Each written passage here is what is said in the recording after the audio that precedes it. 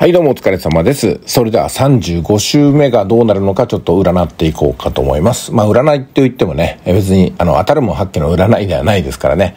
ここまでの動きから、ここからの動きを推察するテクニカルによってお話していこうと思います。35週目は8月の28日から9月の1日ということで月をまたぎますので、大筋では月火水で勝負して、木金は、まあ、トレードをしなくてもいいような状況にしていくといいと思います。えー難易度はね、月火水がテクニカルで忠実にできるのに比べて、木金っていうのはね、月をまたぎますし、材料もかなり入ってきますので、難しい2日間になると思います。えーですので、月火水でしっかりと利益を出しておいていただきたいかなというところですよね。そして、えー今後なんですけども、月足を見ていただければわかる通りですね、前回介入があった時っていうのは、こちらになりますけども、急速な上昇が起きたから、急速に円安に向かったから介入が入ったってことになります。そこから介入で、えーずっとね、陰線が続きまして、値段がダーンと落ちたわけなんですよ。これによってクールダウンして、今度上昇のトレンドを作りましたけども、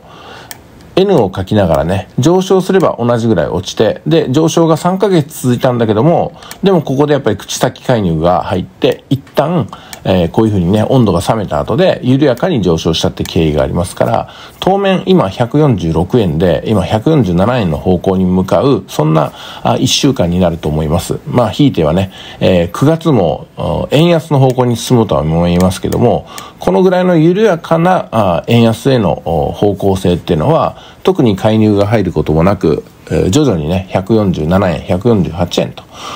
うんそして150円まで達するけども、だけどもこのペースだと、介入がそんなにね、入るような警戒感はないと思います。ドカーンといきなりね、値段が変われば別なんですけども、今のペースだったら、あ介入の危機っていうのはないと思いますよ。ですので安心して円安の方向に、えー舵を切っていただきたいかなと。具体的に言うと、倍で取っていく、そんな1週間になるというふうに思います。はい、じゃあ次ですけども、週足ですよね。週足を見ていただくと、おちょっと思い出していただきたいんですけども、W は右辺が強いって言ったのはね、ここだったと思いますよ。そこからネックラインを入れて、右辺が強くなり、別の展開で上昇トレンドがあり、一旦落ちたものがもう一回這い上がってきたということで、ここのペースの円安方向っていうのは、あそんなにね、強く、円安の方向に急速に進んだってことではないので、介入は入りにくいかなというところです。もちろん、口先介入から来ますけど、口先介入もそんなに警戒しなくていいのかなっていうところですよね。まあそういう意味で言うと、35週目は倍で取っていく週になるというふうに、まあ重ねてね、申し上げたいと思います。はい、方向性はね、これは上昇トレンドしかないでしょ、ずっと。まあまあ、そんなもんね、160円までは円安の方向に向かうんですよ。大きな資金の流れがなければね。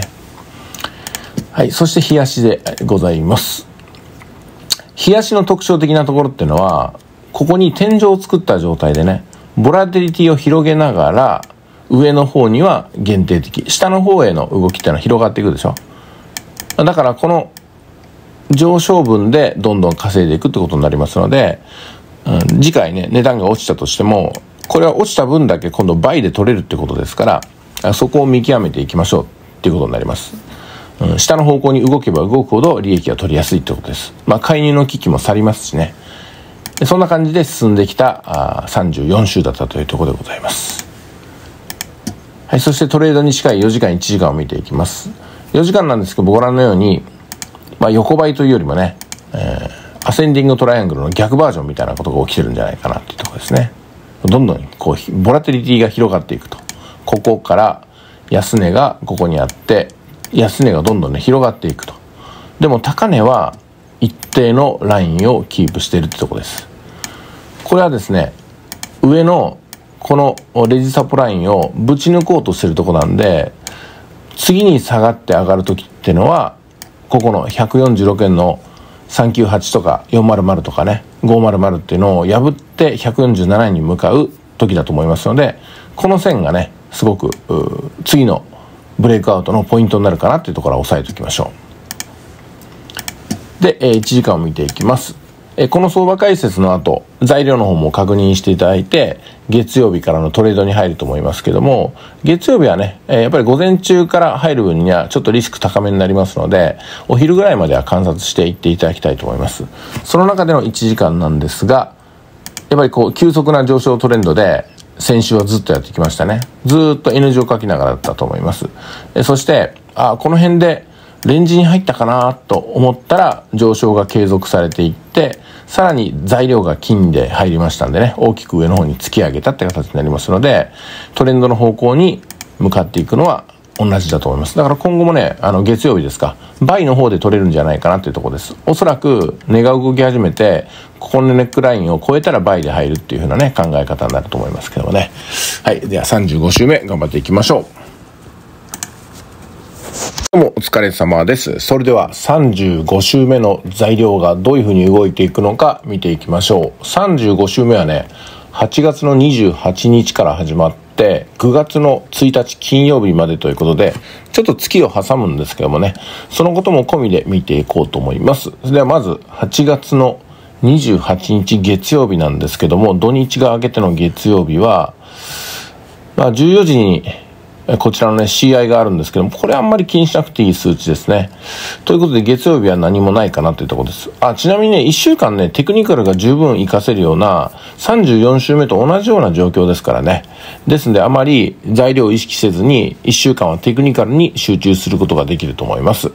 はい、火曜日です。えー、失業率が朝出てますけども、これもだからちょっとね、材料としては、そこまで大きく、チャートを揺るがせないものになると思いますね。まあなんか圧倒的な失業率が出れば別ですけどもね、今のところ不安定な失業率ではまあ良くにつき悪きにつけ安定してますんでね。で、火曜日の夜はアメリカの方でもパラパラと出てくるんですけども、うん、大きく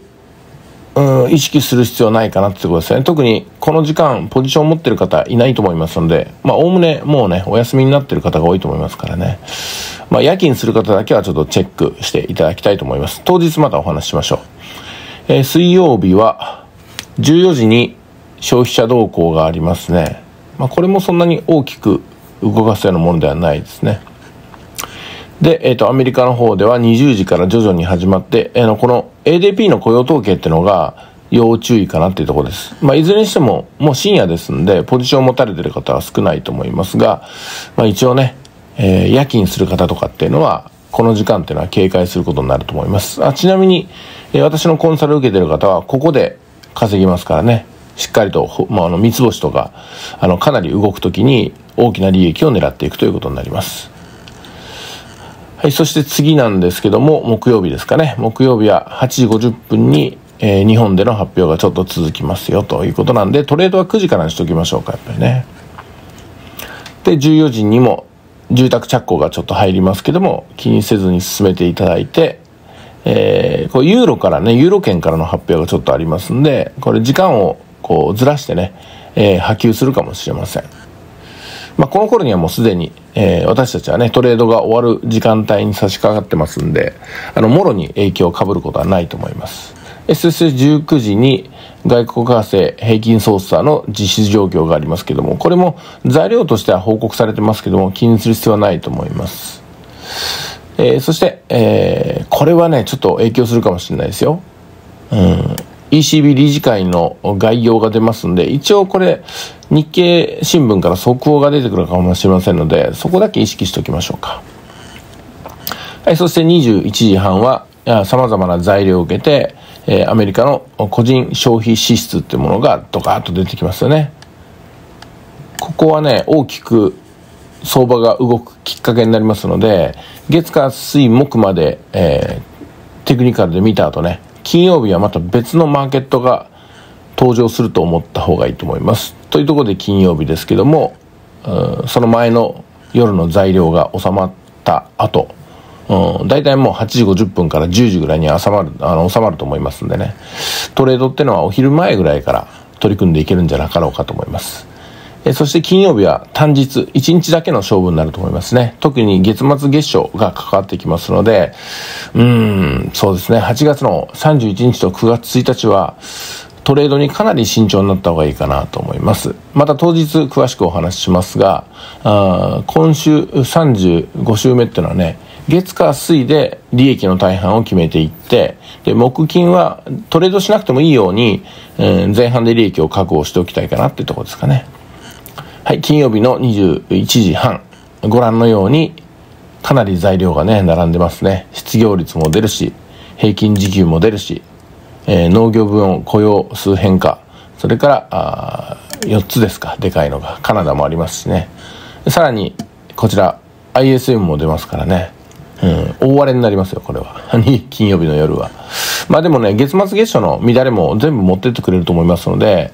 9月1日とかね、そうですね、うん。もしね、FX 以外の用事が溜まってる人は、8月31日、9月1日、えそして土日というふうに、4日間連続で FX から離れるのも全然いいと思いますよ。こういうふうな乱れが続く時っていうのは、も